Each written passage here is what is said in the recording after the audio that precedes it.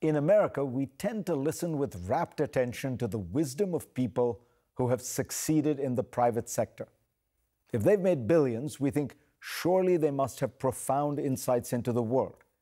And when the person speaking is obviously brilliant, this adds to our veneration. So, when somebody as staggeringly rich and staggeringly intelligent as Elon Musk talks, people listen. Hi. Alas, what came out of Musk's mouth this week was a series of self serving and ill informed comments about President Biden's spending plans. Musk advised that it would be better if the bill doesn't pass because our spending is so far in excess of revenue, it's insane. Seemingly selfless, he explained that he didn't want any subsidies himself or his flagship company, Tesla, neither for charging stations nor for cars. I'm literally saying get rid of all subsidies. Some of this might be sour grapes. Tesla actually outgrew the federal government's tax credit on electric vehicles a long time ago. The federal government provides a $7,500 tax credit for electric vehicles, but they expire once the manufacturer has sold 200,000 of them, a mark Tesla crossed in 2018. In addition, the Biden bill adds $4,500 more in credits per car if the manufacturer uses unionized labor, and Tesla does not.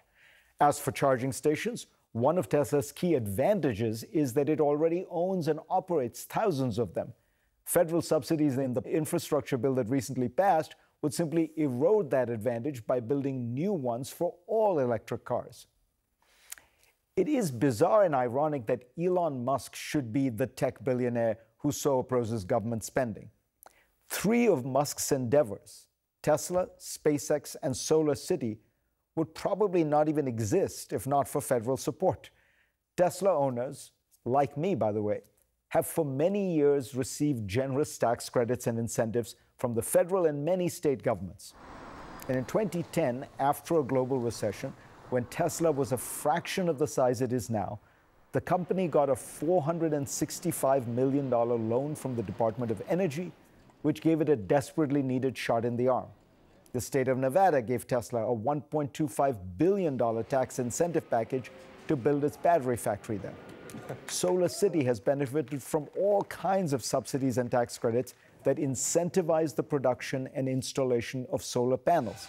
And liftoff. And SpaceX's largest customers, of course, are federal government agencies, from NASA to the Department of Defense.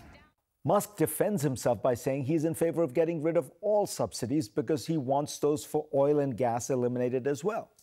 Oil and gas subsidies should be pared back, but they really aren't as many as people seem to think.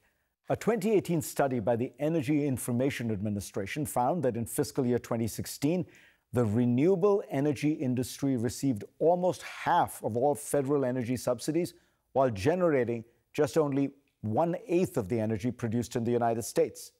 This is as it should be. Green energy is the future, after all. But let's be clear if all subsidies were eliminated, it is green energy that would suffer the most.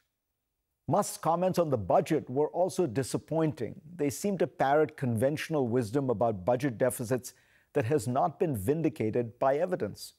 Over the past 30 years, governments like America and Japan have been able to run massive deficits, and yet interest rates have overall trended way down.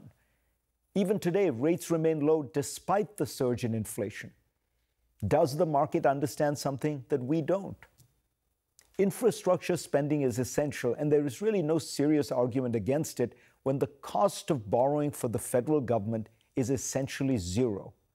Musk admitted that America needs better airports and roads and better mechanisms to ease traffic in cities, but he seems unwilling to allow for the investments that would actually tackle these problems.